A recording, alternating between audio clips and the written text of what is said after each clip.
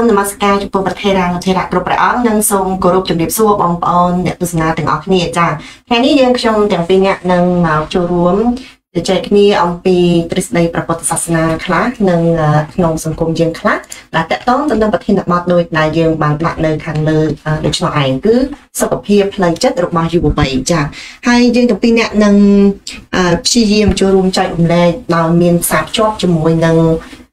ការសិក្សានៅក្នុងពុទ្ធអវាទខ្លះរួមទាំងតនន័យនៃបញ្ហាដែលកំពុងតែកើតឡើងនៅក្នុងសង្គមរបស់យើងខ្លះទាំងសង្គមកម្ពុជា និងសង្គមអន្តរជាតិផងដែរចា៎ហើយមុននឹងនាងខ្ញុំចូលទៅឲ្យបាន រៀបរាប់អំពីតន្ន័យនៃបញ្ហាសុខភាពផ្លូវចិត្តរបស់យុវវ័យនៅក្នុងពេលបច្ចុប្បន្ននេះ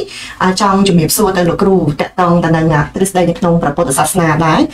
មេរៀនរបស់ព្រះពុទ្ធសាសនានៅក្នុងព្រះពុទ្ធអវាទផងដែរថាតើនៅក្នុងព្រះពុទ្ធសាសនាយើងនេះមានបែងចែកវ័យដែរទេចា៎ហើយមានអ្វីខ្លះដែរដែលយើងអាចគិតថាយើងគួរតែស្វែងយល់បានច្បាស់ពីតកតងទៅនឹងវ័យនេះចា៎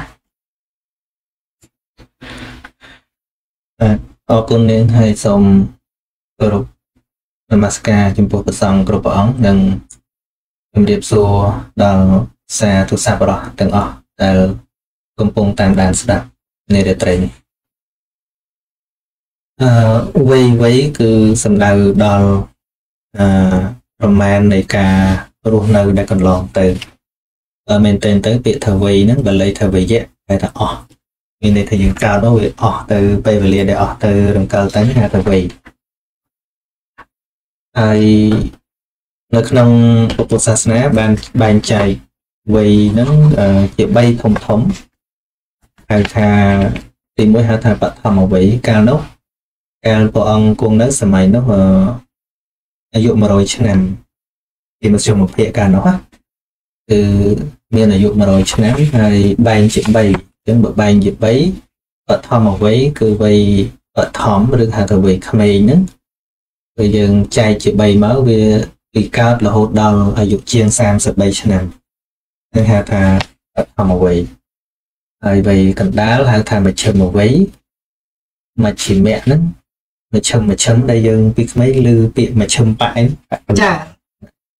មជ្ឈិមមជ្ឈិមហ្នឹងប្រែថាកណ្ដាលវ័យកណ្ដាលហ្នឹងគឺចាប់ពីអាយុ34ឆ្នាំជាងរហូតទៅដល់អឺ66ឆ្នាំជាងចាគឺហើយវ័យចុងក្រោយហៅថាបច្ឆិមវ័យឬក៏ឧត្តមវ័យហៅបានពីរឧត្តមវ័យចាបាទឧត្តមវ័យឬក៏បច្ឆិមវ័យបចជាងឆែកអឺបចជាងឆស្រែកនឹងមហ្នឹងបច្ឆិមបច្ឆិមហ្នឹង គឺចាប់ពីអាយុ67កន្លះជាងឡើងទៅដល់100ឆ្នាំការបែងចែកវ័យធំធំហើយបើចង់បែងចែកលំអិតនោះវ័យចែកជា10ទៅទៀតបាទសិន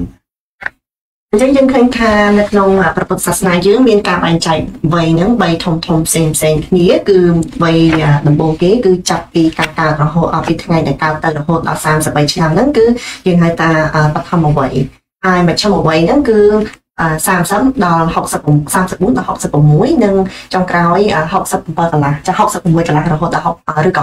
67ដល់100ឆ្នាំហើយនេះគឺជាការបែងចែកវ័យនៅក្នុងព្រះពុទ្ធសាសនាអ្វីដែលនាងខ្ញុំបានចូលតាមការលើកឡើងរបស់លោកគ្រូអំបញ្ញមិញនាងខ្ញុំថ្ងៃនេះបានស្រាវជ្រាវនៅតន្ន័យដែលគួរចាប់អារម្មណ៍អ្នកទាំងអស់គ្នាដែលជាឪពុកជាម្ដាយហើយជាពិសេសក៏យុវវ័យខ្លួនឯងហ្នឹងអឺអាចនឹងមានពិសោធន៍ខ្លួនឯងច្បាស់ថាតើ សុខភាពផ្លូវចិត្តរបស់ខ្លួននៅក្នុងវ័យនេះមានស្ថានភាពបែបណាដែរហើយនៅពេលដែលខ្ញុំធ្វើការស្រាវជ្រាវក៏មានការចាប់អារម្មណ៍ច្រើនដែរខ្ញុំមានតន្ន័យដែលគួរឲ្យចាប់អារម្មណ៍មើលយើងមើលឃើញថានៅក្នុងប្រទេសកម្ពុជារបស់យើងតាមការស្រាវជ្រាវរបស់អង្គការ OECD បង្ហាញថាចំនួនរបស់យុវជនដែលមានបញ្ហាសុខភាពផ្លូវចិត្តគឺបានកើនឡើងទ្វេដងនៅក្នុងឆ្នាំ2020និងឆ្នាំ2021ហើយវ័យនេះគឺជាវ័យដែលមានអាយុ15ឆ្នាំដល់24ឆ្នាំបើយើងរាប់អំពីវ័យនៅក្នុងព្រះពុទ្ធសាសនាគឺនៅក្នុងបឋមវ័យចា៎ហើយចំណែកឯនៅក្នុងប្រទេសអូស្ត្រាលីនេះវិញនៅឆ្នាំ2022ចា៎គឺមាន តាមរយៈការធ្វើគេហៅថាស្ទុំមតិយុវវ័យគឺចំនួន18800ចាំ18800នាក់នៅក្នុងរដ្ឋផ្សេងផ្សេងគ្នាហ្នឹងគឺបានបង្ហាញថាយុវចាស់នៅក្នុងនេះគឺខ្ញុំមានចំនួនជាក់លាក់នៅរដ្ឋវិទូរីដែលយើងកំពុងតែនៅនេះមានការចូលរួម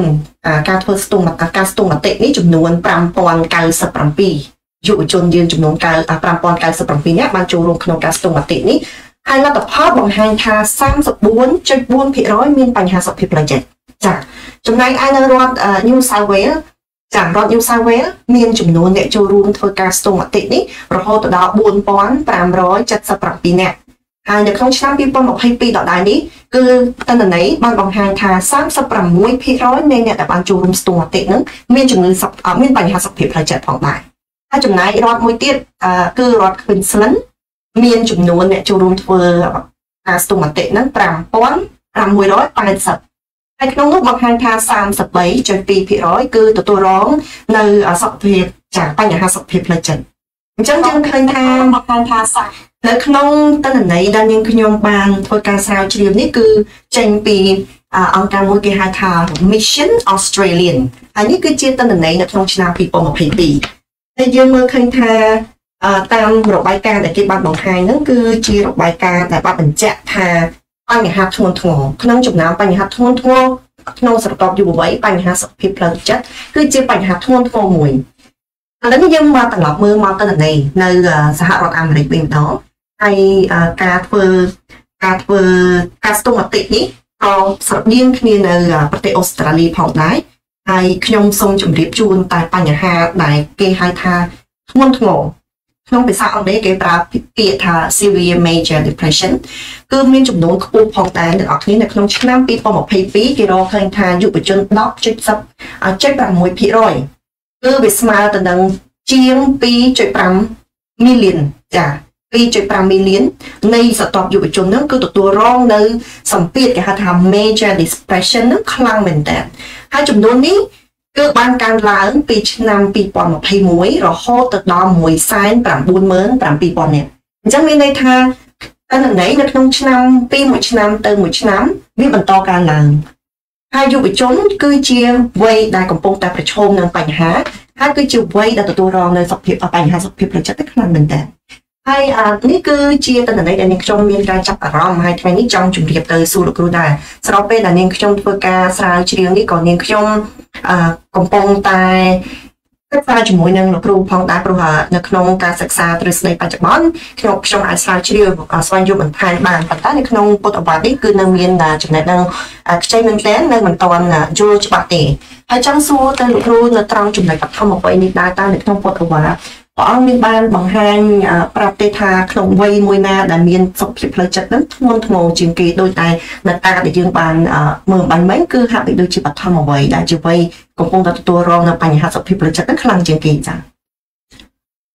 បាទអឺរឿងបញ្ហាសុខភាពផ្លូវចិត្តនេះអឺព្រះសម្មាសម្ពុទ្ធមិនបាន ដាក់បញ្ជាក់លក្ខថាវ័យណាខ្លាំងជាងវ័យណាទេអាស្រ័យលើបុគ្គលម្នាក់ម្នាក់អញ្ចឹងបាននៅក្នុងឯកសារមួយខ្ញុំបាន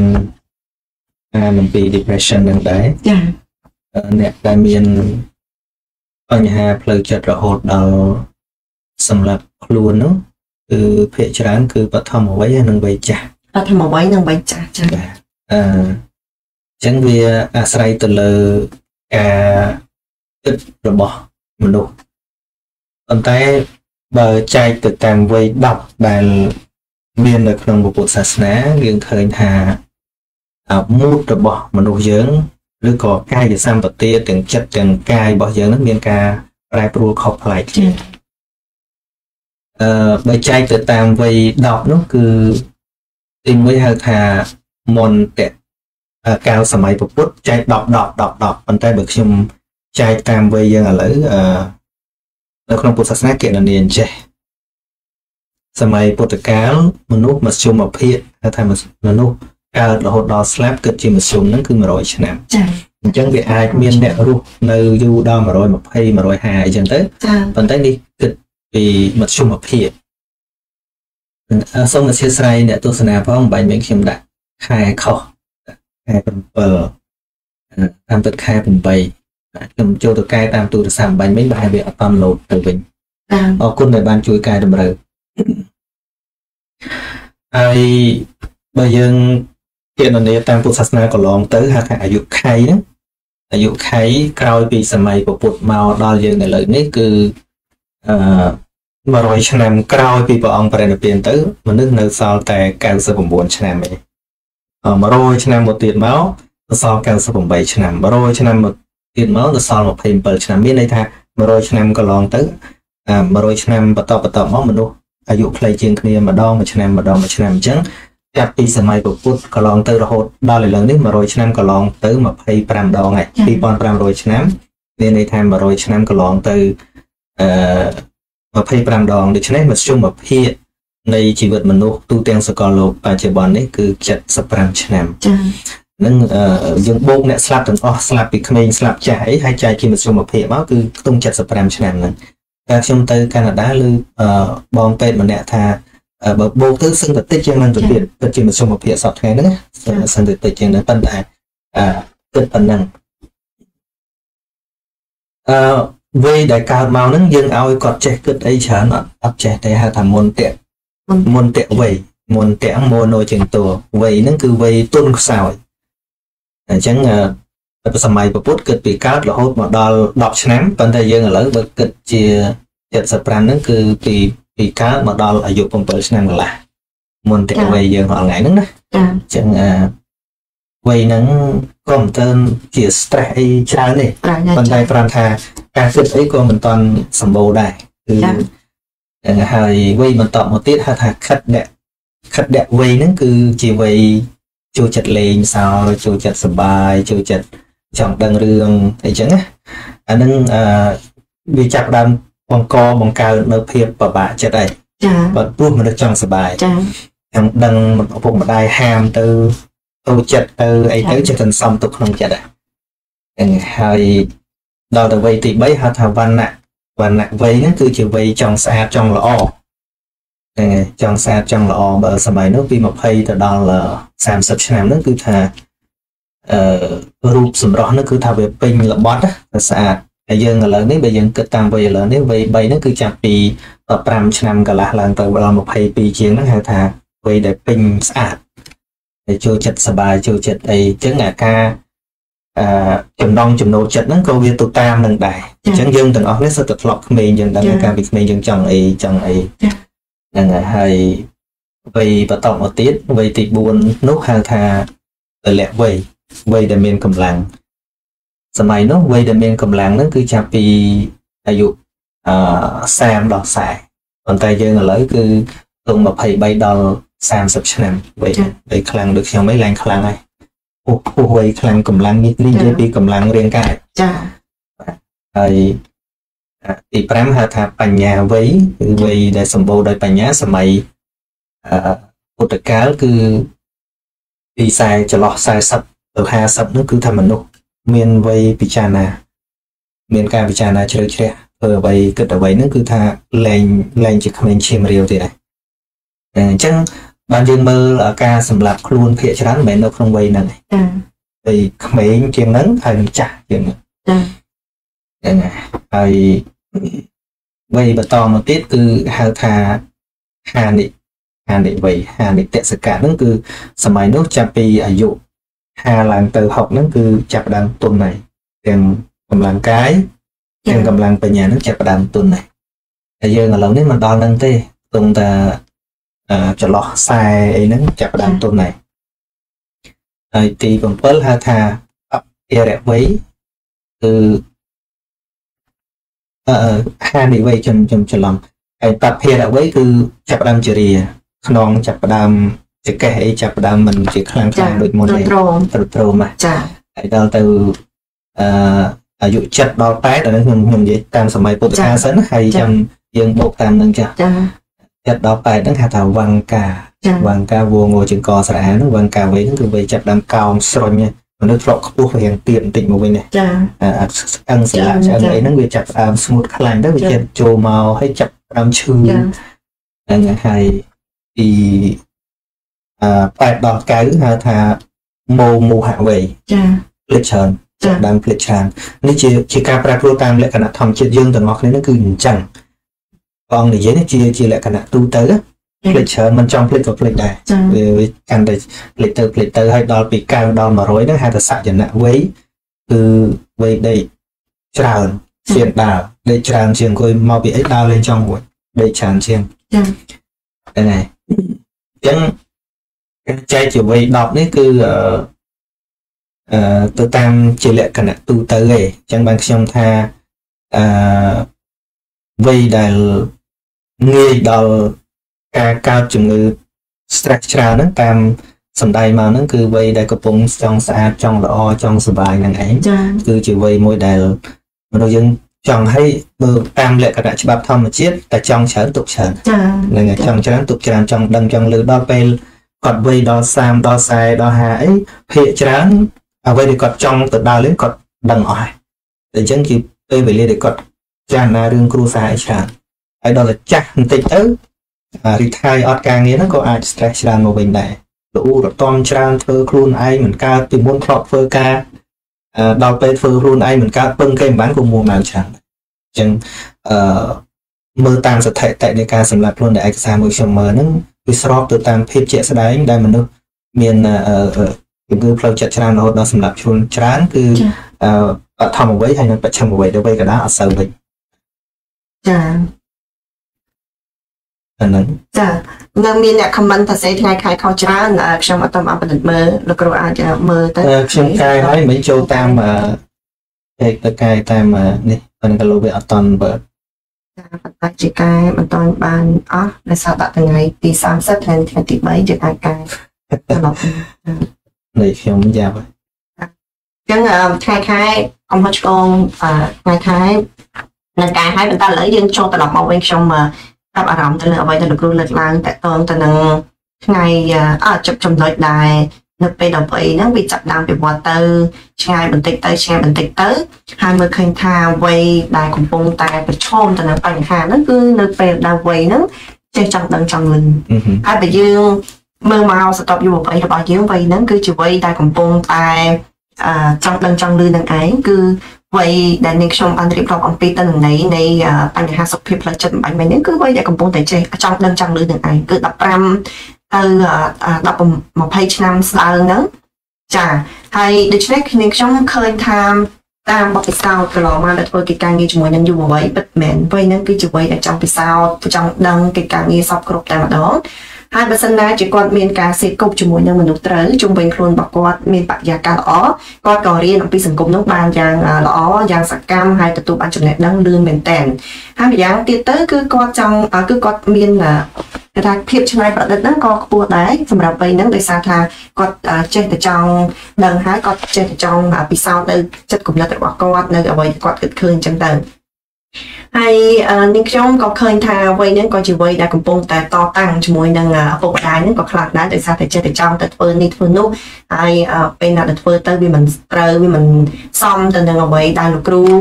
ចាមិនអាចចាលោកគ្រូគ្រាន់ថាសំឡេងអត់លឿនអ្នកទាំងអស់គ្នាដែលស្ដាប់ផ្សេងផ្សេងឮទេចាឮសំឡេងទេមានអ្នកថាអត់ឮសំឡេងគាត់ថាខាងខ្ញុំនេះខ្ញុំដូចជាឮសំឡេងច្បាស់ឃើញសញ្ញាឮសំឡេងល្អមានអ្នកថាអត់ឮសំឡេងអូចាឮសំឡេងហើយ សូមតើចាសូមត្រឡប់មកអ្វីដែលនាងខ្ញុំទៅទៅជំរាបបាញ់មិញហ្នឹងអឺខ្ញុំ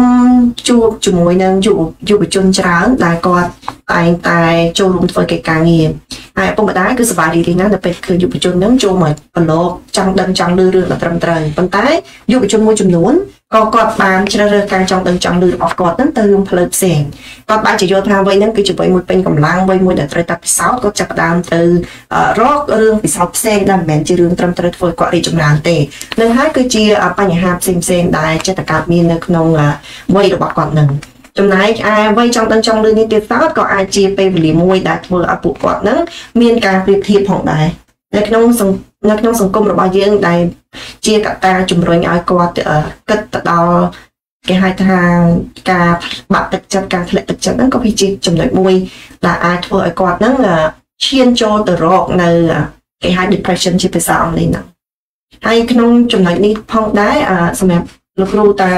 ក្នុងវ័យហ្នឹងលោកគ្រូមានអ្វីដែលអាចជាសារសម្រាប់បងប្អូននៅក្នុងពេលដែលពួកគាត់ចង់សាកចង់ដឹងហើយទៅ ទៅលើរឿងដែលគាត់មិនគួរទៅវិញតើវាជាពេលវេលាដែលពួកគាត់ត្រូវរៀបចំចិត្តយ៉ាងម៉េចដែរចា៎អឺសម្រាប់ខ្ញុំវាមិនអាស្រ័យទៅលើយុវវ័យទេក៏ត្រូវពាក់ព័ន្ធជាមួយនឹងអាណាព្យាបាលចាខ្ញុំទៅតែអានឯកសារមួយអឺពីភាសាអង់គ្លេសគេដាក់ចំណងជើងថា leave me alone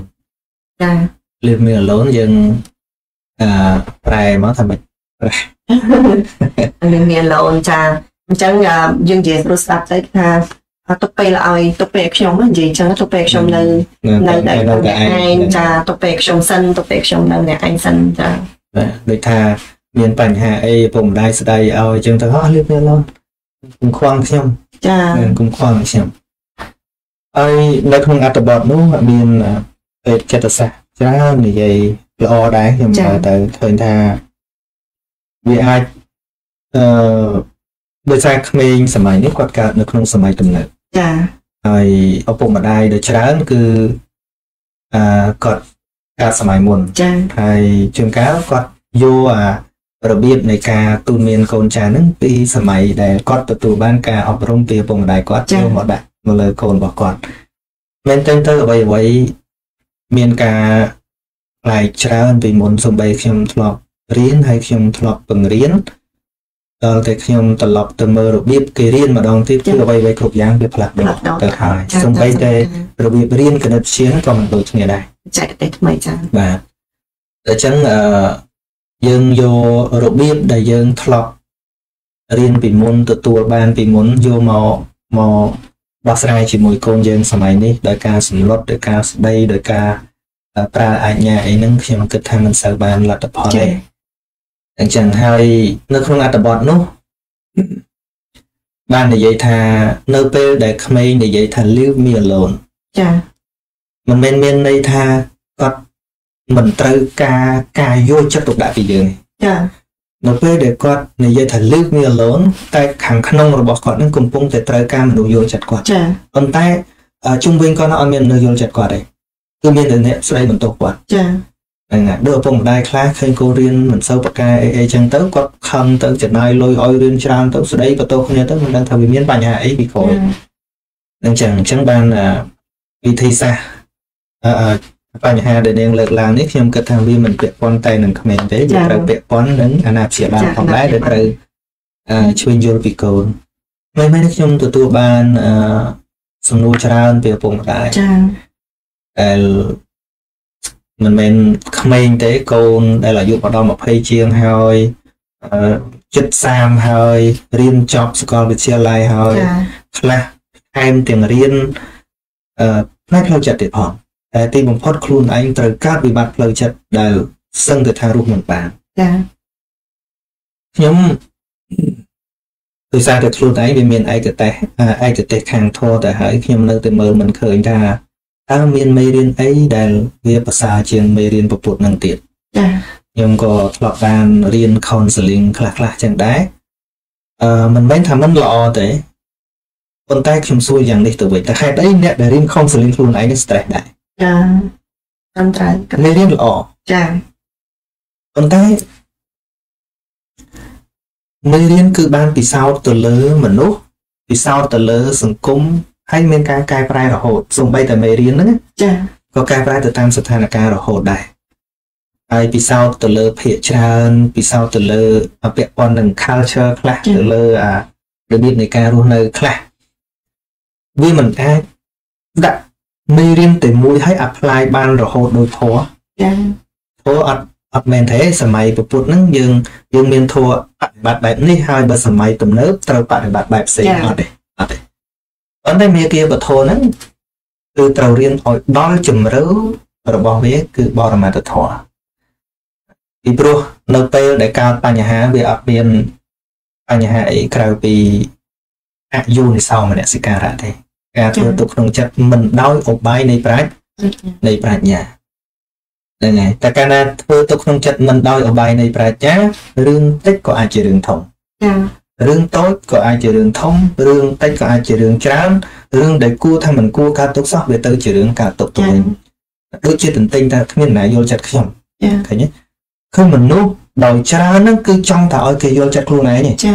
តែមេរៀនប្រពុតអត់មានបង្រៀនមនុស្សឲ្យប្រមូលអ្នកដទៃមកយល់ចិត្តយើងទេគឺបង្រៀនឲ្យយើងខ្លួនឯងយយល់ល់ចាចាក់ក់ខ្លួនខ្លួនឯឯងងចាអញ្ចឹងបានខ្ញុំចេះតែសួរថា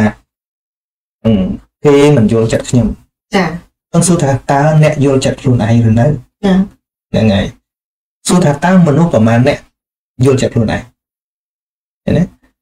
ហើយក៏កាន់តែបន្ទោសរឿងខាងក្រៅទាំងឡាយថាគេមិនយល់ចិត្តយើងចានេះឯងក៏ជាមូលហេតុនាំឲ្យមនុស្សធុញទ្រាន់ឆុងមិនចង់ជួបមុខមនុស្សពីព្រោះមកគ្រួសារអត់មានអ្នកយល់ចិត្តខ្ញុំសោះអញ្ចឹងជាយោបល់របស់ខ្ញុំបងប្អូនទាំងឡាយយើងអាចមានពេលវេលារៀនវិជ្ជាដតីច្រើន ប៉ុន្តែគួរតែមានពេលវេលារៀនមើលចិត្តខ្លួនឯងចានេះជាយោបល់របស់ខ្ញុំហើយសំណួរដែលនាងលើកឡើងថាគូមានការគិតយ៉ាងណានោះខ្ញុំប្រាប់ឲ្យតាមមួយម៉ាត់ឲ្យត្រូវថាគូធ្វើយ៉ាងណានោះគឺលំបាកពីព្រោះចម្លើយមានច្រើនចម្លើយតាមបែបទស្សនវិជ្ជាក៏មានច្រើនតាមចិត្តសាស្ត្រក៏មានច្រើនប៉ុន្តែសម្រាប់ខ្ញុំចង់ដោះស្រាយចិត្តគឺរៀនពីចិត្តចាត្រឹមត្រូវគ្រូចាបាទ អឺនាងខ្ញុំលើកបទពិសោធន៍កាលពីមិនតែនាងខ្ញុំម្នាក់ឯងទេកាលនោះគឺយើងរៀននៅថ្នាក់វិទ្យាល័យចាំច្បាស់ណាស់ថាជាពេលវេលាមួយដែលយើងតែងតែយល់ថាមានសម្ពាធនៅក្នុងការសិក្សារៀនសូត្រព្រោះយើងត្រូវត្រៀមប្រឡងបាក់ឌុបហើយពេលវេលាវ័យពេលវេលានឹងវ័យនឹងគឺជាពេលវេលាដែលគិតខ្លាំងមែនទែនបើសិនណាបើអត់មានការគិតត្រូវទេអឺប្រឹងប្រែងតែពពុះប្រជែងប្រឹងប្រែងតែសម្លឹងថា ត្រូវតែធ្វើឲ្យបានល្អបំផុតបើសិនហើយមិនខ្វល់ថាមានរឿងអ្វីកើតឡើងចំពោះខ្លួនឯងទេដូច្នេះវាវាងាយនឹងបាក់ទឹកចិត្តខ្លាំងមែនទែនពីព្រោះក្តីសម័យរបស់គាត់ហ្នឹងគឺគាត់ចង់បាននិទេសល្អហើយគាត់ចង់បានឲ្យបានបន្ទុកខ្ពស់ទៅគាត់ក៏ចាប់ផ្ដើមប្រៀបធៀបហើយកាលណាតែងាយកាលណាតែមិនបានល្អដូចអ្វីដែលខ្លួនឯងចង់ហ្នឹងវាចាប់ផ្ដើមធ្វើឲ្យក្នុងចិត្តហ្នឹងពិបាកខ្លាំងហើយពេលនោះទាំងមិត្តភក្តិខ្ញុំទាំងខ្ញុំក្តីពួកយើងដោយសារយើងមិនដែលបាន យល់អំពីមីតម្លៃនៃមីគាប្រធរយើងគិតតែទៅរកគ្រូរៀនគូបន្ថែមទេទៅពេលណាដែលយើងវិជាការប៉ិតនៅពេលណាដែលយើងអត់ចេះអត់ច្បាស់មុខវិជ្ជាណាមួយហ្នឹងគឺយើងត្រូវតែរកគ្រូរៀនបន្ថែមប៉ុន្តែអាមួយទៀតដែលធ្វើឲ្យយើងចេះតែប្រៀបធៀបចេះតែខឹងចេះតែអីហ្នឹងទៅយើងក៏អត់បានត្រៀមត្រីអត់អត់បានមើលអាពីសុខភាពផ្លូវចិត្តរបស់យើងហ្នឹងយើងចិត្តតែប្រឹងទៅចិត្តតែប្រៀបធៀបទៅរហូតដល់ បាក់ទឹកចិត្តខ្លាំងមែនតើហើយអ្នកខ្លះក៏ធ្លាក់ខ្លួនឈឺដោយអត់បានទៅប្រឡងឬមួយក៏គាត់បាក់គេហៅបាក់បាក់កម្លាំងរៀនហើយក៏អារឿងការហត់នឿយនិងការរៀនសូត្រវាក៏ជារឿងធម្មតាទេប៉ុន្តែអ្វីដែលសំខាន់ទៀតនោះគឺសុខភាពផ្លូវចិត្តដោយសារតែមានការប្រៀបធៀបដោយសារតែអន់សពុនចិត្តខ្លាំងនៅពេលដែលអត់បានទទួលលទ្ធផលដោយតែការរំពឹងទុកហើយសម្រាប់យើងគ្រប់គ្នាបើសិនជានៅក្នុងវ័យ សម័យសម័យយើងនេះនៅក្នុងវ័យបងប្អូនដែលក្នុងពុទ្ធសាសនាអឺសម្គាល់ថាជាបឋមវ័យប៉ុន្តែនៅក្នុងពាក្យបច្ចេកទេសសមាល័យគេហៅវ័យជំទង់ហ្នឹងគឺបងប្អូនបើសិនជាបងប្អូនមានការយកចិត្តទុកដាក់ហើយការស្វែងយល់ពីចិត្តខ្លួនឯងតាំងពីពេលវ័យក្មេងហ្នឹងទៅគឺបងប្អូនដាក់បញ្ហាច្រើនមែនទែននៅក្នុងចិត្តខ្លួនឯងហើយការសិក្សារៀនសូត្រនោះវាកាន់តែមានកម្លាំងហើយកាន់តែមានភាពច្បាស់លាស់ទៅលើជំនាញរបស់ខ្លួនឯងទៀតពីព្រោះបងប្អូនមានសុខភាពផ្លូវចិត្តល្អ មួយវិញទៀតដែលនាងខ្ញុំក៏សូមលើកទឹកចិត្តឲ្យបងប្អូនចូលរួមកិច្ចការងារមួយចំនួនដែរមិនមែនថាត្រូវតែធ្វើកិច្ចការងារឲ្យអស់ពេលវេលាទេប៉ុន្តែនៅពេលដែលបងប្អូនបានឈានជើងចេញទៅប្រឡូកកិច្ចការងារសង្គមមួយចំនួនបងប្អូននឹងជួបរឿងរ៉ាវផ្សេងផ្សេងទៀតដែលបានបានជួបមនុស្ស ចាស់ដែលអាចផ្ដល់យោបល់ឲ្យហើយអីចេញទៅក្រៅគឺអាចទទួលព័ត៌មានបានច្បាស់លាស់ជាជាងការសម័យសម័យអញ្ចឹងនេះក៏ជាវិធីសាស្ត្រនៅក្នុងសម័យទំនើបដែលបងប្អូនអាចចូលរួមបានដោយជាជាងប្រាពាក្យដូចលោកគ្រូលើកឡើងបាញ់មិញអញ្ចឹងណា leave me alone ហើយទៅគិតថា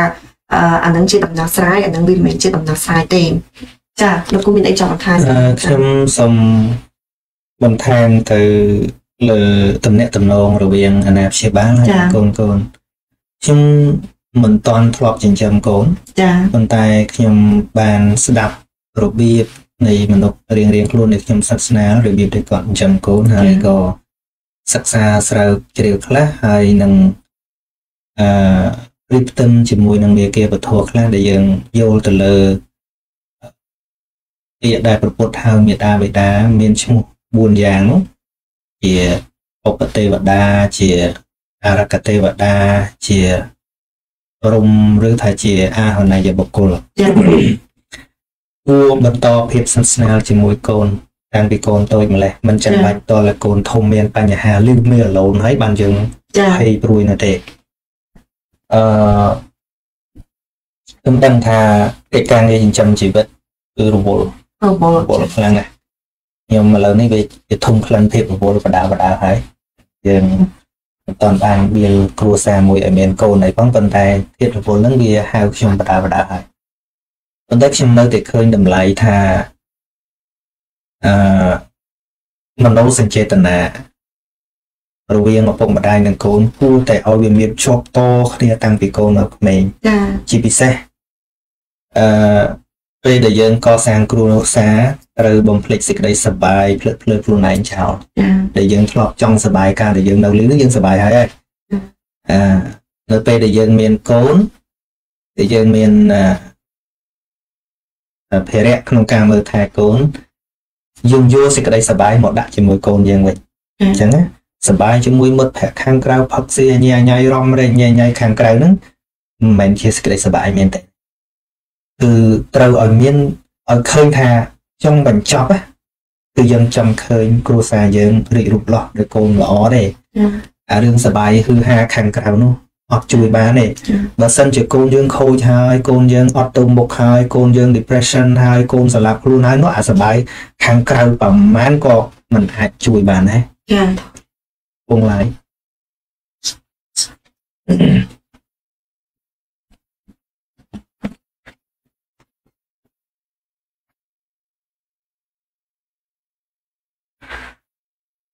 ហ្នឹងហើយអញ្ចឹងអឺ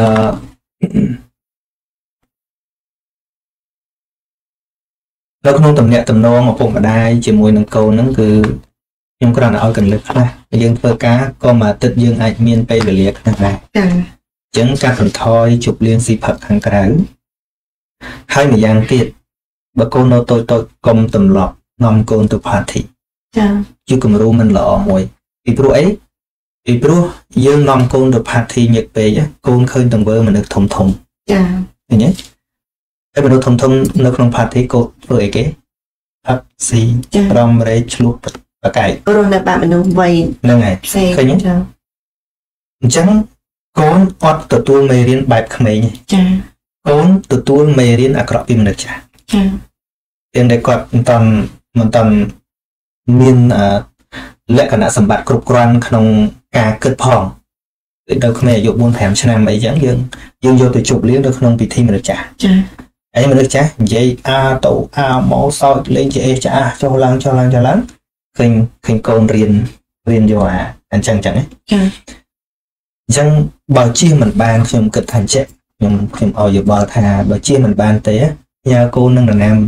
អត់ផ្លែកសិនណា យើងចង់ទៅជប់លៀងទៅថាមិត្តហ្នឹងជិះអត់បានទេទៅផឹកទៅស៊ីអីចឹងណាចាឬក៏យើងដូរវេនគ្នាទៅប្រពន្ធនំមេកូនប្តីទៅទៅឬក៏ថាប្រពន្ធទៅប្តីនៅអីចឹងទៅដាច់ខាត់កុំឲ្យកូនទៅចូលរួមអាពិធីជប់លៀងស៊ីផឹករបស់មនុស្សចាស់ចាហ្នឹងហើយហើយកុំគិតថាអីកូននេះមិនតាន់ធំមែនទេឥឡូវវាដើរតែផឹកទៅស៊ីអត់ទេដល់ណាអ្នកបរិញ្ញាកូនចាយើងនឹងឯងចាអញ្ចឹងបើយើងវាជាប់រឿងហ្នឹងហើយមានមិត្តមានភ័ក្រហើយអឺ មានដូចស្រុកនេះអីមានកន្លែងឆាវខែកន្លែងស្អីឆាវគេទៅចាហើយយើងទៅស៊ីមិនផឹកមិនរឿងរបស់យើងទៅតែនេះកុំភ្លេចកូនអានឹងយូរយូរម្ដងខ្ញុំចង់និយាយថាយូរយូរម្ដងមិនមែនជា allergy ទេហ្នឹងហើយធ្វើម៉េចកុំឲ្យអំពើ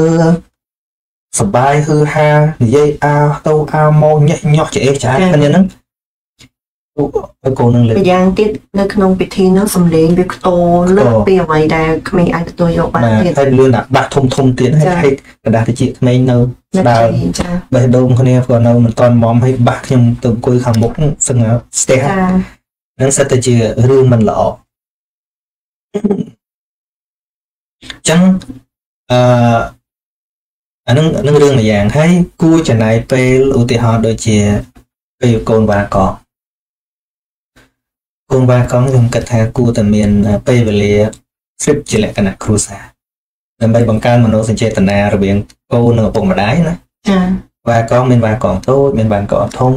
ចាដូចប្រាប់កូនណាកូនឯងរៀនបានល្អចាចុងឆ្នាំនាំកូនទៅលេងនេះនាំកូនទៅលេងនោះតែទៅជាលក្ខណៈគ្រួគ្រួសារសារបង្កើនទំនាក់ទំនងល្អអញ្ចឹងអាអាដើរជាលក្ខណៈគ្រួសារហ្នឹងវាធ្វើឲ្យអាមនោសញ្ចេតនារវាងឪពុកម្ដាយនិងកូនហ្នឹងមានរហូតដល់កូនហ្នឹងទោះបីធំបន្តិចក៏ដោយ គឺគឺសប្បាយចិត្តណាឲ្យទៅណាមានម៉ែឲ្យទៅជាមួយចាឃើញទេអញ្ចឹងកាលណាវាមានមនោសញ្ចេតនាហ្នឹងជាប់គ្នាហើយកូនមានបញ្ហាអីកូនក៏ចែកម្លេចមកយើងដែរប៉ុន្តែបើសិនជាយើងអត់សិតពេលវេលាចឹងទេវ៉ាកងវ៉ាអីយើងគិតតែទៅស្ទូចត្រីអីខ្លួនយើងយើងទៅអាកូនទៅណាទៅទៅឯងទៅដើរលេងណាធ្វើ excursion សាលាឯងក៏ទៅទៅអញមិនទៅទេចាហ្នឹងហើយតែចឹងទៅអាមនោចេតនាហ្នឹង វាកាន់តែបែកទៅបែកទៅយូរយូរទៅបបួលកូនទៅដើរលេងនេះលេងនោះកូនអត់ទៅក៏លេងទៅហឹមដល់តែវាលេងទៅយូរយូរយូរយូរអាមនោចេតនារវាងឪពុកម្ដាយហ្នឹងកាន់តែបែកគ្នាចុះឆ្ងាយទៅឆ្ងាយទៅកូនមានបញ្ហាជួយអត់បានទេចាលឺមីឡូនចាអ្វីអត់យល់ខ្ញុំទេម៉ែឯងអត់យល់ខ្ញុំទេឃើញទេអញ្ចឹងតែហ្នឹងអឺខ្ញុំចែករំលែកបទពិសោធន៍ខ្លះចំពោះអាណាព្យាបាលថាកុំចាំដល់ពេលហួសពេលរហូតដល់កូននិយាយថា leave me alone គឺត្រូវផ្សំអាមនោសញ្ចេតនាហ្នឹងពេលវេលាសេសសល់ហ្នឹងគឺថា កុំចំណាយជាមួយនឹងអធិធិតិនឹងច្រើនពេកចាជាមួយ កូនឲ្យកូនគូរូបអីចេះចេះចេះលើកទឹកចិត្តសរសើរអីចឹងទៅចាអញ្ចឹងវាមិនមែនតែរឿងកូនទេគឺត្រូវចូលរួមពីអាណាព្យាបាលអឹមអាណាព្យាបាលមួយចំនួនក៏អាចអឹមមានការបារម្ភហើយវាជាបញ្ហារបស់គាត់ដែលគាត់យល់ថាគាត់មិនសូវសម្បូរពីនិយាយអីជាមួយនឹងកូនណាអញ្ចឹងបើសិនជារស់នៅក្នុងប្រទេសអភិវឌ្ឍន៍ដូចជាអូស្ត្រាលីក្តីដូចជាសហរដ្ឋអាមេរិកក្តីគឺគេមានចាគឺគេមាន អាចគេហៅថាសេវាកម្មសម្រាប់ជួយទៅដល់កុមារហើយនិងមនុស្សវ័យជំទង់ហ្នឹងគេផ្ដល់ប្រឹក្សាដោយឥតគិតថ្លៃអញ្ចឹងនៅក្នុងអឺ គោលនយោបាយរដ្ឋាភិបាលនៃប្រទេសរបស់គេហ្នឹងគឺគេមានសេវាកម្មហ្នឹងជួយគ្រប់ស្រុកភូមិតែម្ដងដល់ពេលណាដែលយើងមានបញ្ហាហ្នឹងហើយយើងយល់ថាយើងអឺពិបាកនៅក្នុងការនិយាយជាមួយនឹងកូនគឺយើងអាចរកសេវាជំនួយបានហើយសេវាជំនួយហ្នឹងគឺសម្រាប់អឺប្រជាពលរដ្ឋគ្រប់គ្នាដែលរស់នៅក្នុងប្រទេសនេះតែម្ដងសម្រាប់ប្រទេសអូស្ត្រាលីនេះគឺខ្ញុំអឺបានដឹងច្បាស់ថាយើងមានសេវាកម្មហ្នឹងដែលយើងអាចផ្ដល់ឲ្យអឺ ឪពុកម្ដាយហើយជួបនាំកូនទៅជួបជាមួយនឹងអ្នកប្រឹក្សាហ្នឹងទៅគេមិនមែនប្រឹក្សាតែអង្គុយនិយាយចេះគេមានកម្មវិធីសម្រាប់អឺក្មេងជំទង់ឧទាហរណ៍ថាគេមានកម្មវិធីឲ្យក្មេងជំទង់ជួបជាមួយនឹងអឺក្មេងជំទង់ដទៃទៀតហើយគេមានជាសកម្មភាពផ្សេងៗៗដែលអាចធ្វើឲ្យពួកគាត់នឹងផ្លាស់ប្ដូរការគិតរបស់គាត់ហើយធ្វើឲ្យគាត់នឹងមានអឺ ការគិតវិជ្ជមានទៅលើកិច្ចការងារហើយក៏ជួយឲ្យពួកគាត់នឹងស្វែងរកនៅគោលដៅរបស់ខ្លួនឯងឧទាហរណ៍ថាគាត់កំពុងតែរៀនមុខវិជ្ជាអឺនៅក្នុងសាលាអញ្ចឹងគាត់អត់ទាន់ដឹងនេះថាខ្លួនគាត់នៅពេលដែលរៀនចប់ទៅគាត់ត្រូវបន្តទៅមុខវិជ្ជាអ្វីចាប់ជំនាញអ្វីអញ្ចឹងនៅក្នុងកម្មវិធីរបស់សាលាក្រុងក្តីកម្មវិធីរបស់ក្រសួងនៅទីនេះក្តីនៅពេលដែលយើងស្វែងរកព័ត៌មានឲ្យបានត្រឹមត្រូវយើងនឹងរកឃើញផ្លូវដើរដែលអាចបញ្ជូនកូនហ្នឹងទៅកន្លែងឲ្យបានត្រឹមត្រូវ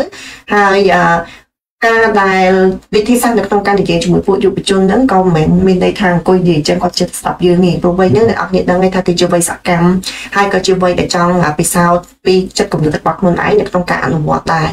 ដូច្នេះពួកគាត់ត្រូវការការធ្វើសកម្មភាពហើយសកម្មភាពរបស់អឺសាលាក្រុងក្តី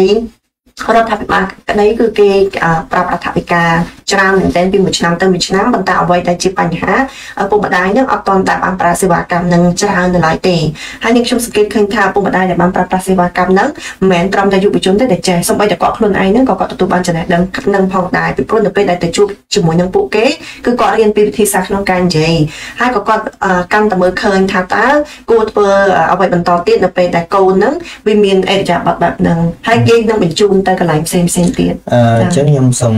សួរជំនួសបងប្អូនយើងនៅទីនេះបន្តិចទៅថាចា៎ខ្ញុំដឹងថាទោះបីមានសេវាកម្មល្អប៉ុណ្ណាតែវានៅតែមានភាពខ្វះខាតព័ត៌មានចា៎ខ្វះទាំងសងខាងមួយ ខ្វះទាំងការផ្សព្វផ្សាយមិនទាន់ពេញបបោនៅក្នុងសហគមន៍របស់យើងឬក៏អឺប្រជាពលរដ្ឋយើងមិនបានចាប់អារម្មណ៍ពីរឿងហ្នឹងតែម្ដងចា៎អញ្ចឹងនាងអាចអឺ បញ្យល់ប្រាប់បងប្អូនខ្មែរយើងបានទេនៅក្នុងប្រទេសអូស្ត្រាលីនេះថាបើគាត់មានបញ្ហាអញ្ចឹងអញ្ចឹងគាត់ចង់ដឹងសេវាកម្មបែបហ្នឹងតើគាត់ទៅតាក់ទងកន្លែងណាចា៎អឺសម្រាប់ព័ត៌មាននៅក្នុងនៅក្នុងអឺប្រទេសអូស្ត្រាលីនេះ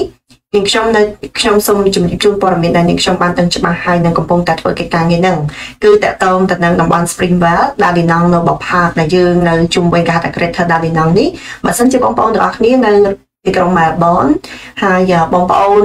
មានកូនដែលបានបន្តមកសិក្សានៅរដ្ឋនេះហើយហើយនៅតំបន់នៅក្នុងគេហៅថា Greater Dandenong នេះខ្ញុំអឺសូម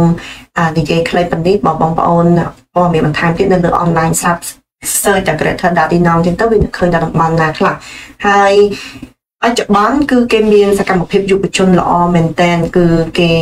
អាឲ្យយុវជននេះជាគម្រោងដែលនេះខ្ញុំកំពុងតែធ្វើបច្ចុប្បន្នហ្នឹងទីមួយគឺយើងមានថ្នាក់គេហៅសម្រាប់ឲ្យយុវជនមានឱកាសក្នុងការអឺ បញ្ចេញអារម្មណ៍ទុកកង្វល់ដោយការលេងតន្ត្រី គឺយើងមានថ្នាក់ហ្គីតាខ្លះហើយមួយទៀតគឺកម្មវិធីដែលនាងខ្ញុំកំពុងតែរៀបចំជាមួយនឹងក្រុមយុវជនរបស់យើងដែលយើងហៅថាការជួបជុំគ្នានៅចុងសប្តាហ៍ដើម្បីទទួលយកយោបល់ពីមនុស្សសំខាន់សំខាន់នៅក្នុងសហគមន៍ហ្នឹងវាគឺជាឱកាសមួយដែលផ្ដល់ឱកាសឲ្យពួកយុវឲ្យយុវជនចំនួនវ័យជំទង់ហ្នឹងមានឱកាសមកស្ដាប់នៅសាច់រឿងរបស់មនុស្សវ័យចំណាស់ជាច្រើនដែលពួកគាត់បានឆ្លងកាត់នៅរបបជីវិតឆ្លងកាត់ច្រើនមកហើយពួកគាត់ក៏នឹងចែកបទពិសោធន៍ថាពួកគាត់រកខ្លួនឯងដោយរបៀបណាពួកគាត់ជំនះខ្លួនឯងដោយរបៀបណា ហើយនៅក្នុងការស្វែងរកសេវាកម្មទាំងអស់នេះបងប្អូនមិនលំបាកទេទោះបីជាមិនមែននៅក្នុងតំបន់ដែលនាងខ្ញុំកំពុងធ្វើកិច្ចការងារនេះក៏ដោយបងប្អូនចូលទៅក្នុង Google បងប្អូនដាក់ថាសេវាកម្មសម្រាប់យុវជននៅក្នុងរដ្ឋរបស់ខ្លួនឯងអញ្ចឹងវានឹងចេញព័ត៌មានមកច្រើនមែនទែនហើយនឹងបង្ហាញច្បាស់ថាតើគួរតាក់ទងទៅកន្លែងណាពីព្រោះប្រទេសអូស្ត្រាលីនេះនៅគ្រប់ទីតាំងគេហៅសម្រាប់គ្រប់ទីតាំងនៃតំបន់របស់គេហ្នឹងគឺតែងតែមានសេវាទាំងអស់នេះជួយទៅដល់ក្មេងៗ ចំណែកឯអ្នកនៅម៉ាល់ប៊ននេះមានកម្មវិធីក្រៅទៅពីអង្គការដែលខ្ញុំកំពុងធ្វើការដែលយើងហៅថាមជ្ឈមណ្ឌលសកម្មភាពនិងសហគមន៍នេះក៏មានកម្រងកម្រងរបស់សាលាក្រុងដែលគេមានសកម្មភាពផ្សេងផ្សេងដូចជានៅខែ9នេះជាពេលវេលាដែលវ៉ាកងនៅប្រទេសអូស្ត្រាលីកូនសវ៉ាកងគេរៀបចំគេហៅថា Youth Fest វាគឺជាពេលវេលាមួយសម្រាប់យុវជនពីតំបន់ផ្សេងផ្សេងមកជួបជុំគ្នានៅខាងក្រៅគេហៅ outdoor នៅ park ហើយពួកគាត់មានឱកាសទៅចូលរួមសកម្មភាពដែលរៀបចំដោយអង្គការជា20ហើយបងប្អូនទាំងអស់គ្នាកម្មវិធីបែបហ្នឹងមិនមែនសបាយតាមម្យ៉ាងទេគេធ្វើឲ្យយើងមានអារម្មណ៍ថារីករាយប៉ុន្តែនៅពេលដែលសម័យគិតថានៅពេលដែលយើងចូលរួមសកម្មភាពមួយកម្មវិធីមួយដែលមានអង្គការរហូតដល់20 តើអ្នកទាំងអស់គ្នាអាចក្រេបយកនៃចំណេះដឹងអ្វីបានខ្លះពីកន្លែងហ្នឹងទី1គឺទំនាក់ទំនងទី2គឺចំណេះដឹងទូទៅនៅពេលដែលយើងចូលរួមសកម្មភាពបែបហ្នឹងយើងមានឱកាសក្នុងការទៅស្វែងយល់អំពីអង្គការនីមួយៗហើយអង្គការទាំងអស់នោះជាទូទៅគឺសិតតែជាអង្គការដែលមានកម្មវិធីយុវជននេះគឺជាប្រភពនៃព័ត៌មានមួយដែលសំខាន់នៅពេលដែលឈានជើងទៅដល់កន្លែងហ្នឹងហើយជាភាសាពុកម្ដាយយុវក្មេងៗជាការពិតណាស់បើសិនជាក្មេងៗវាចេះតែរកព័ត៌មានតែខ្លួនឯងអាហ្នឹងយើងឃើញថាក្របពូជហ្នឹងវាដោះហើយវាមិនសូវពិបាកឯង ចុះដូចជាក្មេងៗដែលយើងឪពុកម្ដាយមានការព្រួយបារម្ភពីកូនដែលអត់សូវចេញទៅធ្វើការអត់សូវស្វែងរកព័ត៌មានអញ្ចឹងវាជាឱកាសឲ្យដែលឪពុកម្ដាយនាំកូនទៅនៅថ្ងៃហើយខ្ញុំនឹងចែកព័ត៌មានបន្ថែមទៀតបើអ្នកនរគ្នា follow ទៅ Facebook page របស់ខ្ញុំនឹង profile ហ្នឹងខ្ញុំតែងតែចែកព័ត៌មានហ្នឹងហើយអ្នកនរគ្នាក៏អាចរកព័ត៌មានដល់ខ្លួនឯងចូលទៅក្នុង Google ហើយដាក់ថា program យើងអាចនិយាយដាក់ជាភាសាអង់គ្លេសថា youth program អឺ នៅឯ at greater datinong of greater datinong ជាទៅក៏ greater datinong youth program អីចឹងមកវានឹងចេញអាថ្ងៃខែនៃកម្មវិធីនឹងមកច្បាស់លាស់មែនតើហើយនៅពេលដែលទៅដល់អង្គការនឹងរបៀបនៅក្នុងការស្វែងរកព័ត៌មានឪពុកម្ដាយអាចទៅជួបអង្គការនីមួយៗស្វែងយល់អំពីព័ត៌មានពីព្រោះនៅក្នុងថ្ងៃហ្នឹងគេដាក់ booth គឺគេមានតុកនីមួយៗរបស់អង្គការ G20 ហ្នឹងហើយអង្គការនីមួយៗហ្នឹងគឺមានតួនាទីបញ្យល់ឲ្យអ្នកចូលរួមនឹងយល់ច្បាស់អំពីសកម្មភាពរបស់គេ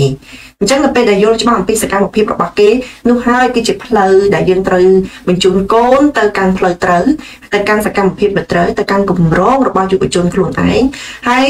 អង្គការទាំងអស់នោះនៅពេលដែលគេបង្កើតអ្វីមួយគឺគេបង្កើតដែលមានទស្សនៈវិស័យស្របទៅតាមគោលការណ៍របស់ សាលាក្រុងនិងគោលការណ៍របស់រដ្ឋាភិបាលអូស្ត្រាលី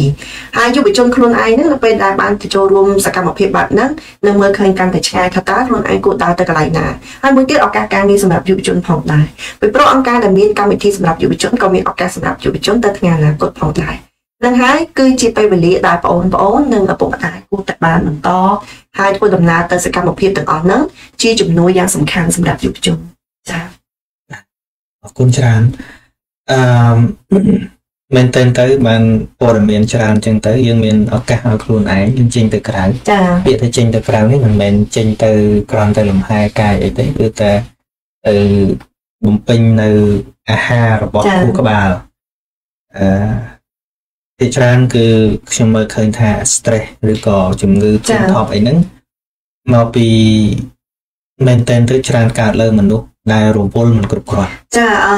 ត្រូវហើយលោកគ្រូពាក្យថារវល់មិនគ្រប់គ្រាន់ហ្នឹងវាសល់ពេលវេលាសល់ពេលវេលាសម្រាប់ stress stress ហ្នឹងចាហើយម្យ៉ាងទៀតយើងចំណាយពេលលើឬអត់ប្រយោជន៍ច្រើនពេកចាលោកគ្រូមានប្រសាអញ្ចឹងខ្ញុំនឹកឃើញដល់ក្មេងម្នាក់ដែលយើងទៅទៅជួបហ្នឹងអាពីរនាក់ខ្ញុំជួបក្មេងៗអានេះបច្ចុប្បន្ននេះប៉ុន្តែពីមុនពីមុនមកយើងជួបច្រើនអាបញ្ហា depression នឹងដូចគ្នារឿងធំសម្រាប់ពួកគាត់ណាគឺរឿងពាក្យសម្ដីរបស់អ្នកដទៃ នៅពេលដែលពួកគាត់ចេញធ្វើសកម្មភាពគឺវ័យហ្នឹងគឺវ័យអឺគេហៅថាពួកគាត់ក៏ចង់ពិសោធន៍ចង់ដឹងតែពួកគាត់ក៏ឆាប់បាក់ទឹកចិត្តដែរជាទូទៅនៅពេលដែលពួកគាត់ចេញទៅធ្វើកិច្ចការងារមានការរិះគន់ដូចជាឥឡូវគេរិះគន់យើងអញ្ចឹងតែយើងវិចារហើយវ័យហ្នឹងអញ្ចឹងយើងអាចមានស្អីមកពិចារណាក្នុងចិត្តយើងបានឥឡូវខ្ញុំសួរដូចថ្ងៃភ្ជាប់ពាក្យអញ្ចឹងខ្ញុំថាអ្នកដែលដើរជាមួយខ្ញុំមិនប្រកាសថាសំណាងទេពីព្រោះពីមុនគេជេរខ្ញុំតែម្នាក់ តែពីថ្ងៃភ្ជាប់ពាក្យទៅហ្នឹងប្រកាសជាគេជេរទាំងពីរនាក់ចាហើយតាំងពីថ្ងៃនោះមកដល់ថ្ងៃនេះមានបានទទួលពាក្យជេរខ្លះហើយហ្នឹងអឺតាមពិតចង់ជម្រាបទៅប្រិមិត្តទាំងអស់គ្នាថាអ្នកទាំងអស់គ្នាជឿអីក៏ខ្ញុំឮជេរអីក៏ខ្ញុំឮដែរតែអីមកក៏ខ្ញុំឮដែរដូចដូចបានជម្រាបប្រាប់ពីខាងដើមចឹងថាវិជ្ជាជីវៈផ្លូវការរបស់អ្នកខ្ញុំគឺជាអ្នកសារព័ត៌មាន ហើយក៏ជាអ្នកសារព័ត៌មានដែលមានការបង្ហាត់បង្រៀនចេញពីសាលាបច្ចេកទេសត្រឹមត្រូវមិនមិនមែនជាអ្នកសារព័ត៌មានចេញពីណាចេះដោយខ្លួនឯងដូច្នេះទៅខ្ញុំបានទទួលបច្ចេកទេសនៅក្នុងការស្វែងរកព័ត៌មានហ្នឹងដោយក្នុងរយៈពេលខ្លីអ្វីក៏ខ្ញុំអាចឃើញថាស្អីខ្លះគេនិយាយពីខ្ញុំដែរអញ្ចឹងអ្វីដែលអ្នកអត់អ្នកដែលគេឲ្យពាក្យពេចន៍មកដោយផ្ទាល់មាត់ខ្សឹបគ្នាឬក៏ផាត់តាម social media ហ្នឹងស្អីក៏ឮដែរ ប៉ុន្តែវាអត់បានប៉ះទេវាអត់បានប៉ះចិត្តខ្លាំងទេពីព្រោះវាអត់ទាន់រកតម្លៃគ្រប់គ្រាន់នៅក្នុងការយកមកពិចារណាថាជាបញ្ហាពុំមែនយើងខ្ញុំជាអ្នកមានបញ្ហាទេពួកគេជាអ្នកមានបញ្ហាអញ្ចឹងអឺបញ្យល់បន្តិចមើលហេតុអីបានគេជេរយើងហើយយើងជាអ្នកអត់បញ្ហាតែទៅជាគេមានបញ្ហាទៅវិញអឺទីមួយខ្ញុំយល់ច្បាស់ថានៅលើអាលោកនេះគ្មានបុគ្គលណាល្អដោយប្រពោទេអ្វីដែលយើងទទួលស្គាល់ប៉ុន្តែបុគ្គលដែលល្អដែលយើងគោរពដែលយើងហៅថាអរិយបុគ្គលហ្នឹង ក៏ព្រះអង្គមានអាការតិទៀនដែរចុះខ្ញុំនៅកន្លែងណាសកម្មភាពប៉ុណ្ណឹងធ្វើការងារប៉ុណ្ណឹងរូបភាពបែបហ្នឹងតើឲ្យគេនិយាយអាប៉ុណ្ណឹងតិចផងខ្ញុំគិតថាពាក្យរិះគន់ទាំងអស់ហ្នឹងនៅតិចផងអញ្ចឹងអឺมันជាបញ្ហាសម្រាប់ខ្ញុំទេជាបញ្ហាសម្រាប់គេអឺអញ្ចឹងអាឆ្លើយតបដល់គ្រូប៉ុណ្ណឹងសិនតែអ្វីនេះចង់និយាយរឿងយុវជនរបស់យើងព្រោះអាណិត គ្នាចេញធ្វើកិច្ចការងារអញ្ចឹងទៅវាជួបជួបភ្លៀងដូចយើងជួបអញ្ចឹងណាប៉ុន្តែសម្រាប់យើងយើងយល់ថាជួបសម្រាប់ខ្ញុំជាជួបជាជួបភ្លៀងអឺនៅមានសំណើចបានពីព្រោះនៅមានរឿងកំ pl ែងតែសម្រាប់យុវជនអត់ទេហើយឪពុកម្ដាយក៏ត្រូវតែស្វែងយល់អំពីអំពីកូនកន្លែងហ្នឹងដែរព្រោះនៅពេលដែលគ្នាចេញទៅធ្វើកិច្ចការងារគឺមានពាក្យតិចទៀនឧទាហរណ៍ឧទាហរណ៍មួយចុះនៅពេលទិវាវប្បធម៌ខ្មែរដែលពួកយើងរៀបចំនៅកន្លែងនេះ អ្នកទាំងអស់គ្នាដែលមានការឆ្លាញ់វប្បធម៌ប្រពៃណីខ្មែរចូលរួមហើយអ្នកទាំងអស់គ្នាដែលបានយល់អំពីស្ថានភាពប្រជាពលរដ្ឋខ្មែរដែលរស់នៅក្រៅប្រទេសគឺយល់ពីភាពខ្វះខាតនៃការរៀបចំការតុបតែងគ្រឿងសម្ភារៈវាខ្វះខាតអត់ដូចនៅប្រទេសកម្ពុជាយើងដែលសម្បូរទេអាចធនធានអ្នកសិល្បៈនៅក្នុងប្រទេសនេះកូនខ្មែរយើងមកនៅទីនេះมันមានសាលារៀនសិល្បៈដូចជាយើងនៅប្រទេសកម្ពុជាទេ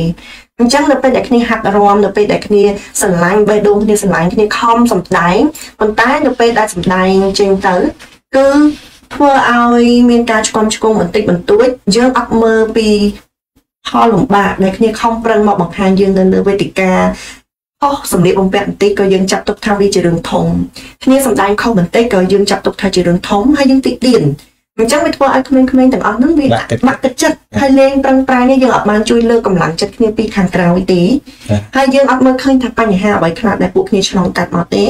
ហើយយើងអត់ឲ្យតម្លៃនៃការស្ម័គ្រចិត្តរបស់ពួកគាត់អញ្ចឹងសម្រាប់អ្នកសិល្បៈគឺគាត់ដឹងច្បាស់ណាស់ថាតើតម្លៃនៃការហាត់រៀនហើយយកពេលវេលាអ្នកស្រុកនេះណាពេលវេលាគឺជា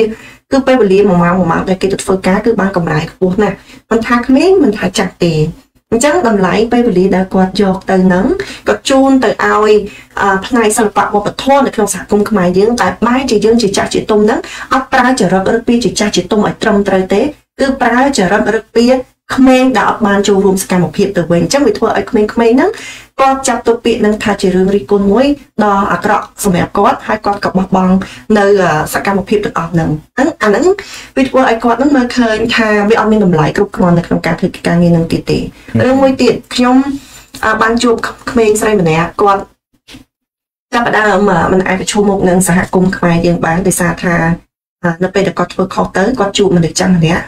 ដាក់កំហុសឲ្យគាត់ខ្លាំងពេកអញ្ចឹងគាត់ក៏បានចាប់ ចាប់ទុកថាសង្គមមួយនេះគឺធ្វើឲ្យគាត់មិនមានភាពក្លាហានទេហើយពេលដែលយើងអត់បានជួបគាត់ទៅជែកជាមួយនឹងគាត់គាត់ចេញពីសហគមន៍ទៅគាត់អត់គាត់ហើយក្មេងជំទង់មានចរិតមួយទៀតគឺចរិតផ្លៃធ្នូមួយទៀតដែលខ្ញុំសង្កេតឃើញគាត់អត់ងាយនិយាយពីចំណុចអវិជ្ជមានរបស់មនុស្សចាស់ហើយបើគាត់យល់ថាមនុស្សចាស់នឹងអត់ពេញចិត្តគាត់រិះគន់តាក់ទាញគាត់អីចឹងទៅគាត់នឹងដើរចេញតាមដងគាត់ទៅស្ងាត់ស្ងាត់ចាគាត់ទៅស្ងាត់ស្ងាត់គាត់គាត់ទៅហើយគឺគាត់ចេញទៅតែម្ដងគាត់ទៅធ្វើរឿងអីផ្សេងឬក៏គាត់ឈប់ធ្វើតែម្ដង ហើយអានេះឯងគឺជាចំណុចអវិជ្ជមានអាពាកអាពាកអាពាករិះគន់ដែលអត់មានការស្ថាបនាមនុស្សចាស់មនុស្សចាស់ណាដែលមនុស្សចាស់គឺជាការពិតគឺយើងត្រូវការរិះគន់ត្រូវការឲ្យអវាទមានថារិះគន់ឲ្យគ្នានឹងនៅមុខនេះរួចទេគឺយើងឲ្យអវាទទៅយើងឲ្យយោបល់ទៅហើយប្រាប់គ្នាផងខាងទៅពេលដែលអឺធ្វើកន្លែងនេះខុសអញ្ចឹងក្មួយធ្វើអញ្ចេះទៅ ឲ្យវាល្អប្រសើរឡើងវិញអីចឹងទៅហើយម្យ៉ាងវិញទៀតមីងមានច្បងអញ្ចឹងនេះក្មួយផ្កាយកន្លែងនេះកន្លែងនេះក្មេងគឺត្រូវការបែបអញ្ចឹងមិនមែនខុសហើយក៏យើងថាភឹងភឹងភឹងភឹងហើយក៏ទៅបាត់ទេតាមពិត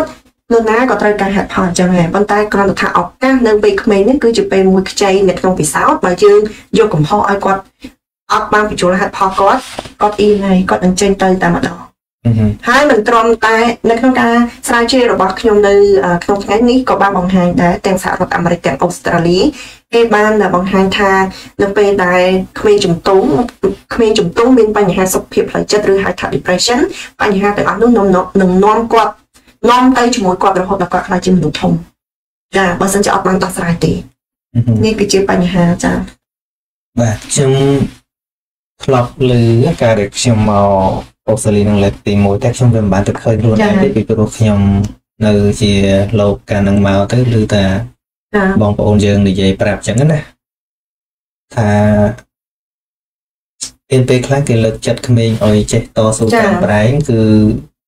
ឧទាហរណ៍ឧទាហរណ៍ថាក្មេងអាយុប្រហែលឆ្នាំអញ្ចឹងទៅគូចេញរូបក្តាមមួយចាតាមពិតអត់ស្អាតទេតែគ្រាន់តែមើលទៅដឹងថាក្តាមហើយគេដាក់ឈ្មោះក្មេងហ្នឹងហើយគេដាក់លក់ ក្មេងអាយុ5ឆ្នាំអីចឹងទៅគូចេញរូបក្តាមអីប៉ុណ្ណឹងមកលក់គេជួយទិញចាតែបើយើងយកគំនូហ្នឹងយកទៅប្រៀបជាមួយអ្នកអ្នក artist ជាអ្នកសិល្បៈគំនូដែលមានដៃជំនាញនោះខ្ញុំមិនដឹងនៅណាទេប៉ុន្តែគេយកទៅដាក់ដេញថ្លៃខ្លះហ៊ានទិញ10ដុល្លារ20ដុល្លារ50ដុល្លារអញ្ចឹងទៅ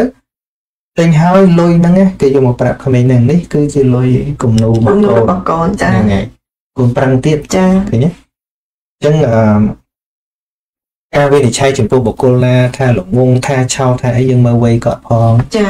ជាងការគាត់ទៅអាយុប៉ុណ្ណឹងបទពិសោធន៍គាត់តិចគាត់ចេញទៅធ្វើការបានប៉ុណ្ណឹងអឺមិនមែនថាឲ្យចិត្តតែសរសើរត្រូវរហូតទេប៉ុន្តែរបៀបអឺ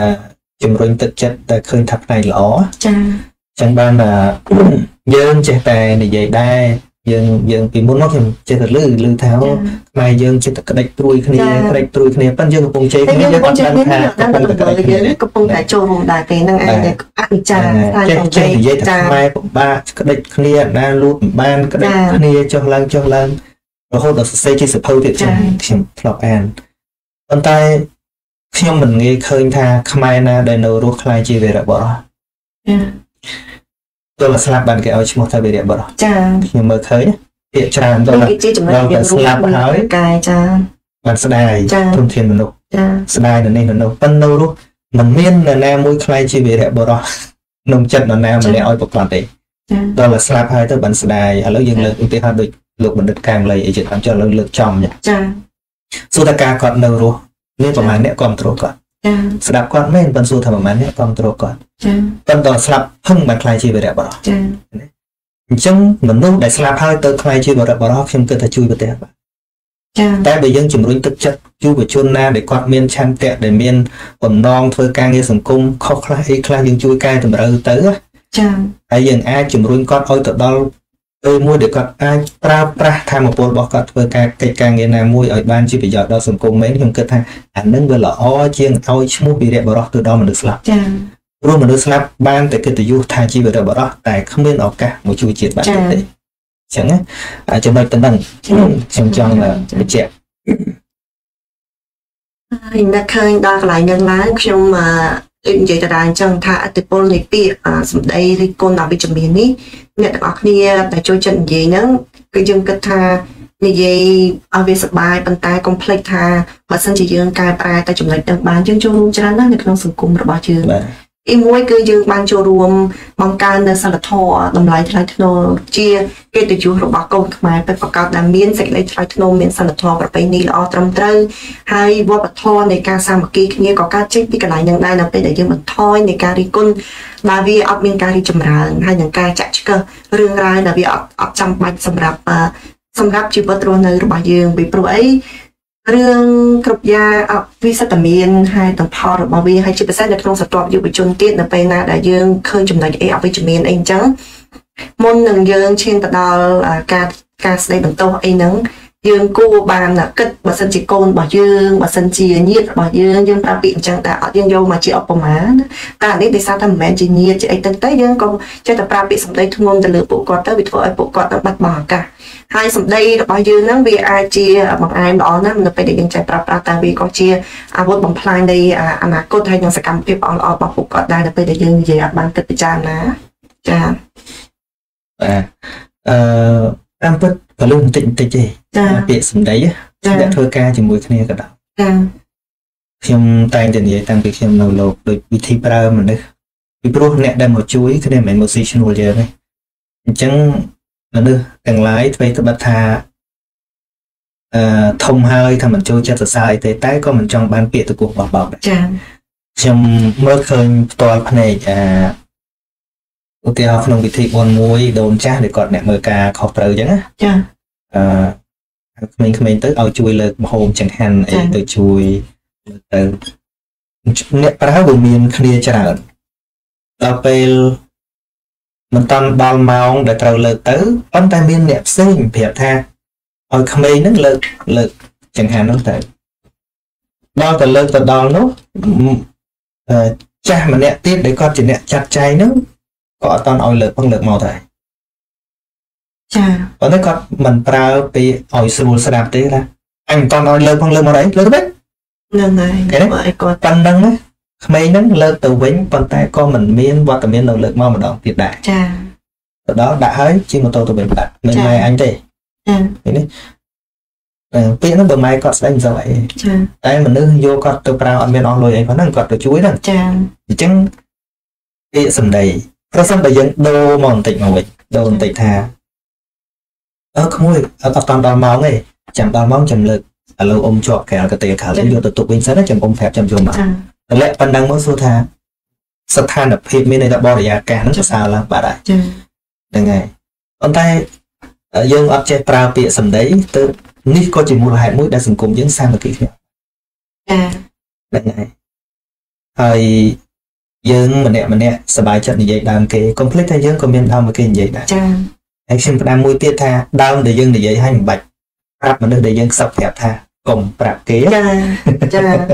ខ្លួនឯងទុកចិត្តខ្លួនឯងបាននៅចង់និយាយប្រាប់គេទៅតម្រង់អ្នកផ្សេងហ្នឹងហើយហើយកាន់តែនិយាយអាក្រក់ពីគេច្រើននោះល្អើខ្លួនឯងទេទៅចូលនិយាយនិយាយសាធារណៈហ្មងទៅអាហ្នឹងដឹងច្បាស់ថាអាហ្នឹងយើងគ្មានលាក់មុខលាក់ក្រោយអីទេបើមិនហ៊ានពីមុខពីក្រោយក៏កុំដែរអញ្ចឹងណាដូច្នេះ អឺជំរាបអ្នកទស្សនាខ្ញុំទាំងអស់ថាខ្ញុំចេញមុខប៉ុណ្ណេះហើយសម្រាប់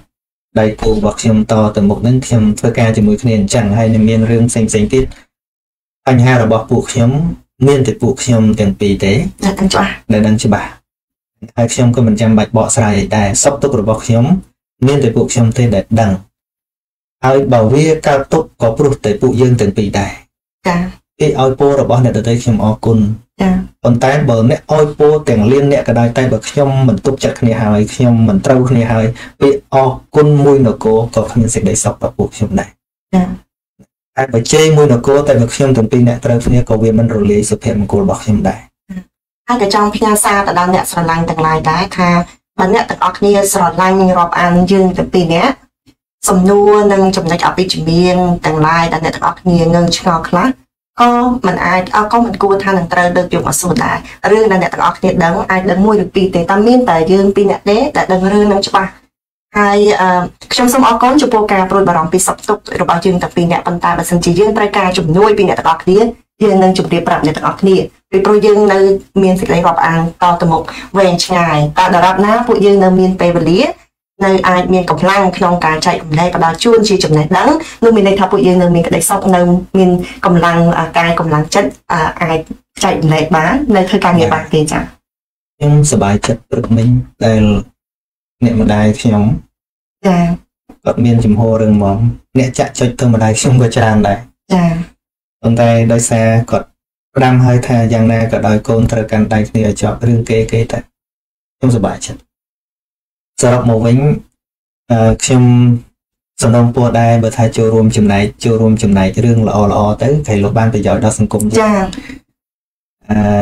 ចូលរួមចំណែកជេរបង្អាប់អីហ្នឹងខ្ញុំគិតថាវាអត់បានប្រយោជន៍អីទេព្រោះយើងធ្វើនៅតែធ្វើចាទោះថាយ៉ាងម៉េចក៏នៅតែធ្វើដែរចាហ្នឹងហើយបើឲ្យយោបល់អាហ្នឹងប្រហែលជាខ្ញុំយកមកគិតពិចារណាបើត្រឹមតែបង្អាប់ញាស់លេងឬលេងអាហ្នឹង វាអត់បានជាប្រយោជន៍អីទេអត់នេះខ្ញុំពួកខ្ញុំហាមមិនបានទេជាសិទ្ធិសេរីភាពជាសិទ្ធិសេរីភាពប៉ុន្តែគ្រាន់ថា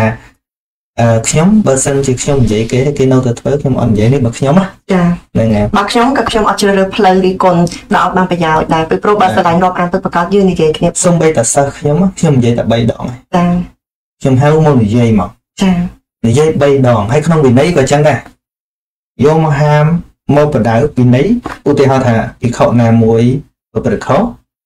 ឧបជាគ្រូហ្នឹងត្រូវហៅមកណែនាំឲ្យឈប់ធ្វើអំពើនោះ3ដងចាហ្នឹងហើយបើជាភិក្ខុផងហាម3ដងតខ្លួនគ្រូឲ្យមិនឈប់ទេទៅប្រជុំសង្ឃទៀតចាសូត្រសមនុភេសនកម្មហាម5កុំឲ្យធ្វើអំពើហ្នឹង3ដងទៀត3ដងទៀតហាមដោយសមនុភេសនកម្ម3ដងហើយនៅតែមិនធ្វើដេញចោលមកចាជាអំពើមានប្រសិទ្ធភាព ចាឃើញទេតែភាសាម្នេះមិនបាច់ដល់ថ្នាក់សមនុភាសនកម្មទេហាមយកមកបដៅ3ដងហើយបើ3ដងហើយជុំជាពពុទ្ធក៏ចឹងដែរចាពពុទ្ធហាមសាវកមិនដែលហាម3ដងអស់លើសពី3ដងចា3ដងហើយនៅតែមិនស្ដាប់មានន័យថាអ្វីដែលតថាគតធ្វើធ្វើហើយឃើញទេចាគ្រូចឹងដែរហាម5ហើយសិស្សនឹងណែនាំហើយនៅតែមិនស្ដាប់3ដងមិនស្ដាប់អញ្ចឹងបើទោះជាដាក់4ដងក៏វាអត់ស្ដាប់ដែរ ដាក់លើកទី5ក៏វាលែងស្ដាប់ដែរចាអញ្ចឹងវាលើសពីតួនាទីដែលយើងធ្វើហើយពាក្យហ្នឹងវាទៅជាសាបហើយព្រោះយើងនិយាយហើយនិយាយទៀតវាអត់ស្ដាប់ផងចាអញ្ចឹងអាពាក្យសម្ដីវាទៅជារយរាយអត់ប្រយោជន៍ទុកពេលវេលាសម្រាប់ធ្វើការងារដែលអត់ប្រចាអះមានប្រយោជន៍វិញទៅធ្វើការងារដែលមានប្រយោជន៍ចាហ្នឹងហើយសម្ដីវាត្រូវឲ្យមានឥទ្ធិពលដែរណាចាហ្នឹងហើយទោះបីជាយើងស្ដីគេនោះក៏ត្រូវឲ្យមានឥទ្ធិពលដែរស្ដីឲ្យម្ដងពីរដងឲ្យគេឈប់អាហ្នឹងអាហ្នឹងបានថាថាពាក្យសម្ដីដែលមានប្រយោជន៍ហើយស្ដីគេនៅធ្វើដដែលអាហ្នឹងឈ្មោះថាសម្ដីអត់ ចាព្រោះព្រោះវាអត់បានផលតែបានផលខ្ញុំអត់បានគិតរឿងបាបឬមិនបាបទេចារឿងកុសលនិងអកុសលអានឹងមើលខ្លួនឯងទៅប៉ុន្តែខ្ញុំគិតពីប្រយោជន៍ថាបើយើងហាមគេ3ដងហើយគេនៅតែមិនឈប់គួរតែមិនឈប់ការហាមរបស់យើងចាហ្នឹងហើយដោយពាក្យសម្ដីហើយបើថាលើកពីហ្នឹងប្រើច្បាប់ទៅចាហ្នឹងហើយប្រើច្បាប់តម្រងទៅព្រោះពាក្យយើងនិយាយទៅទៀតកន្លែងបានការដែរចាព្រោះហាម3ដងហើយចាលើកពីហ្នឹងប្រើច្បាប់ទៅអាហ្នឹងមនុស្សមានអតិពលចាអឺប្រើទៅវាមានអឺប្រយោជន៍ណា ហើយបើនៅថាម្ដងហើយគេនៅតែធ្វើ10ដងនៅតែថា10ដងនៅតែថាមិនមែនមនុស្សមនុស្សអន់ទេអាអ្នកថាគេឲ្យគេអត់ឈប់អាហ្នឹងវាទៅជារយរាយអត់ប្រយោជន៍វិញចាចា